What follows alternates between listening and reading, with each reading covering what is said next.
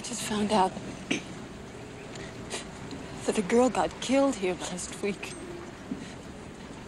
And you knew it. Mm-hmm. You knew there was a shark out there.